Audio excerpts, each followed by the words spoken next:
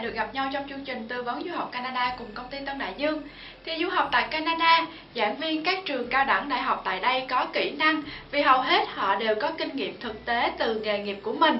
Nhiều người có tên trong các hiệp hội nghề nghiệp ở cấp địa phương, khu vực và quốc gia.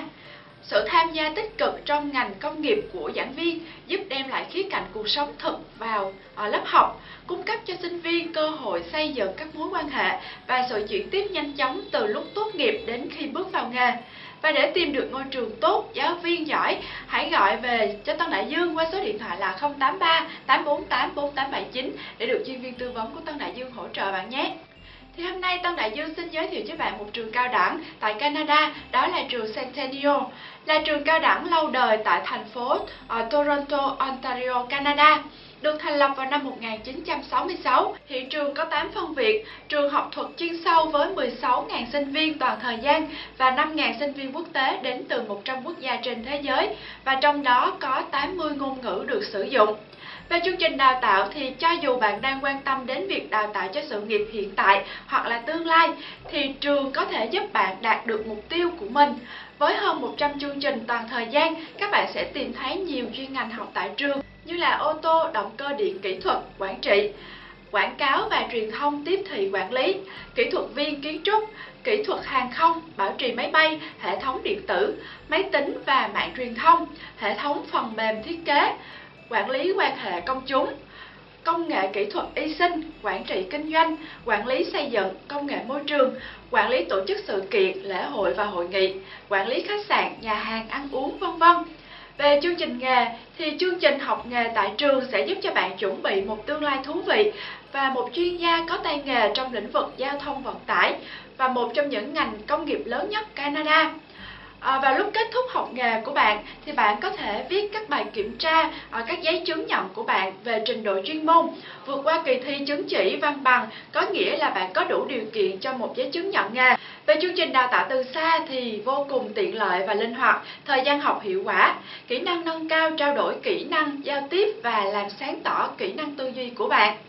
có cơ hội đóng góp và được lắng nghe và học phí và điều kiện thì bạn có thể truy cập vào website của tâm Đại Dương là tâm đại dương.edu.vn hay là tddvn.com để tham khảo và mọi thắc mắc về trường thủ tục du học Canada cần được hướng dẫn thì vui lòng gọi đến số 083 848 4879 hoặc đến trực tiếp công ty theo địa chỉ 148 1 Trần Quang Khải, phường Tân Định, quận Nhất để được chuyên viên tư vấn hỗ trợ. Vâng, tin vui cho các bạn đang định cư tại Canada và đang có ông bà hoặc là cha mẹ tại Việt Nam thì chương trình đoàn tụ gia đình diện bảo lãnh cha mẹ và ông bà tức là Parent and Grandparent Program cái tắt là PGP for Canadian Immigration dự kiến mở lại vào năm 2015 Chương trình bảo lãnh gia đình này cho phép công dân Canada và thường trú nhân bảo lãnh cha mẹ và ông bà đến Canada và trở thành thường trú nhân Canada, tức là PR. Bạn nào có PR hay là công dân Canada thì nhanh chân chuẩn bị hồ sơ nhé.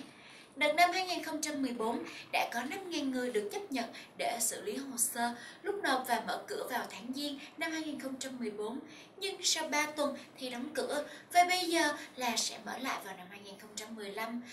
và có thể là sẽ mở vào đầu năm đó các bạn. Sự phân bổ năm ngoái chỉ trong một thời gian ngắn và nhiều người phải chờ đợi chương trình PGP này mở lại và có vẻ như rằng nhu cầu sẽ tiếp tục nhiều hơn cung nếu như chính phủ Canada quyết định để thực hiện mở cửa chương trình giống như năm cũ.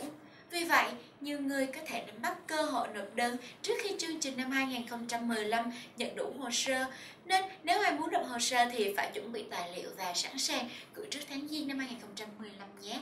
Sự không chuẩn bị cẩn thận sẽ dẫn đến thất bại đó các bạn ạ. À. Thông qua chương trình này, cha mẹ và ông bà nhận luôn PR nếu thành công. Điều kiện ứng viên phải có để nộp đăng ký các bạn lưu ý rằng bạn phải là một công dân Canada hoặc là thường trú nhân bạn phải từ 18 tuổi trở lên, bạn phải đạt mức thu nhập tối thiểu cần thiết cho chương trình này bằng cách gửi thông báo đánh giá cho cơ quan doanh thu Canada, tức là CRA. Bạn cũng phải chứng minh đã đạt mức thu nhập tối thiểu cần thiết cho 3 năm liên tiếp. Nếu bạn đã kết hôn hoặc có mối quan hệ ràng buộc hợp pháp, thu nhập của hai người các bạn có thể được cộng gộp lại. Bạn phải ký một cam kết hoàn trả bất kỳ trợ cấp xã hội nào của cho bạn và các thành viên gia đình đi kèm nếu có trong thời gian 20 năm nếu cần thiết. Nếu người bảo lãnh cư trú tại Quebec, một cam kết bổ sung phải được ký kết Ngoài ra, còn có sự lựa chọn khác, đó là bạn có thể đăng ký cho gia đình mình theo dạng Super Visa. Nếu bạn đã kết hôn hoặc có mối quan hệ ràng buộc hợp pháp, thu nhập của hai người các bạn có thể được cộng gộp lại.